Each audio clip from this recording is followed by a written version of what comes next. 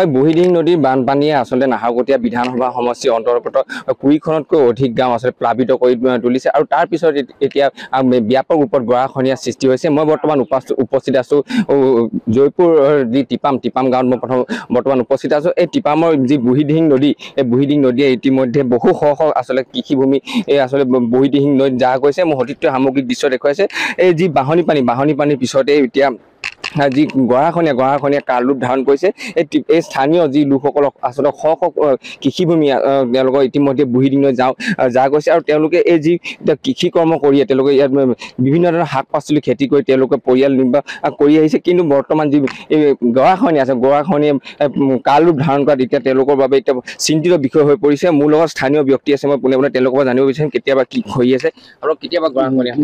গৰাখহনীয়াটো আজি তিনিদিন মানে ধৰি যিটো বানপানী হ'ল। বানপানী পানী অলপ কমি যোৱাৰ পৰাই কালিৰ পৰা এতিয়ালৈকে কমেও বুঢ়ীদিহিং নদীখন এশ মিটাৰ খহাই আহিলে ইফালে। যদি আৰু দুদিন এনেকৈ খহায় তেতিয়া ওচৰতে লাগি আছে মাথাউৰি। মাথাউৰিখন কেনেবাকৈ যদি বিপদজনক হয় গোটেই টিপামবাসী টিপাম পঞ্চায়তো তেতিয়া একদম বিপদজনক অৱস্থালৈ আহি পৰিব। মাথাউৰি ভাঙি যেতিয়া বানপানী হ'ব। গতিকে মই চৰকাৰলৈ এইটোৱে আহ্বান জনাইছোঁ কি অতি শীঘ্ৰে পলম নকৰাকৈ এই মাথাউৰিখন মাথাউৰিখন বচাই যদি কিবা প্ৰটেকশ্যন দিয়ে তেতিয়া আমাৰ যিটো টিপামবাসী ৰাইজ আৰু লগতে আৰু প্ৰান্তত লাগি থকা গাঁওবিলাক ৰক্ষা পৰিব এইটোৱে মই চৰকাৰক বিনম্ৰ অনুৰোধ জনাইছোঁ। হয় আচলতে যি তেওঁলোকে তেওঁলোকৰ কৃষি প্ৰধান ওপৰত তেওঁলোকে কৃষি কৰ্মচাত তেওঁলোকে চলিব লগা হয় গোটেই বছৰটোৰ বাবে কিন্তু এতিয়া যি গতিত যি দ্ৰুত গতিত আচলতে গৰাখহনীয়া আহ, সৃষ্টি হৈছে আৰু এইদৰে যদি গৰাখহনীয়া আহ, হৈ থাকে উম, দুইদিন বা তিনিদিনৰ ভিতৰত যি কাষতে যি লাগি থকা মঠাই মঠাইটোৰ ওচৰত পাবগৈ বুলি তেওঁলোকে জানিবলৈ দিছে। মোৰ লগত আন এজন ব্যক্তি আছে।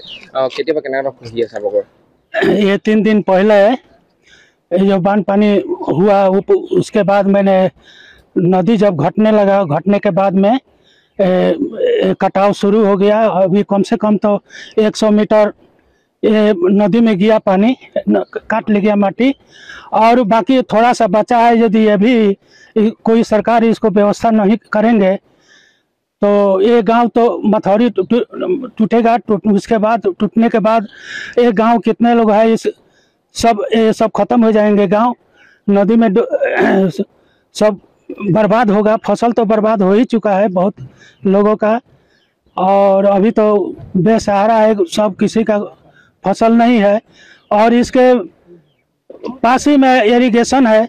उसको ये भी साथ साथ में चला जाएगा। अगर इसका सरकार कोई व्यवस्था करे, जल्द से जल्द, ताकि ये गाँव की रक्षा हो, और ये जो अनुष्ठान जो है इरिगेशन, और उसकी भी रक्षा हो इतना कहकर हम यही हमारा हम लोग का कहना है অ, হয় এটা কথা ক'ব লাগিব যি বুঢ়ীদিং নদীৰ যি গৰাখহনীয়া গৰাখহনীয়া আচলতে কাল ৰূপ ধাৰণ কৰি আছে বৰ্তমান আৰু এতিয়া তেওঁলোকে এ, নেদেখাজনৰ পৰা আচলতে প্ৰাৰ্থনা কৰিব লগা হৈছে তেওঁলোকৰ যি গৰাখহনীয়া গৰাখহনীয়া ৰোধ কৰিবৰ কাৰণে আৰু এটা কথা ক'ব লাগিব বিভাগীয় কৰ্তৃপক্ষই যদিহে এ, অতি শীঘ্ৰে অতি শীঘ্ৰে বিহিত ব্যৱস্থা গ্ৰহণ নকৰে তেন্তে এ, এই যি টিপাম গাঁও টিপাম গাঁও আছে টিপাম গাঁৱৰ পৰা আদি কৰি কেইবাখন আচলতে গাঁও বুঢ়ী বুঢ়ীদিং নদীত যা যাব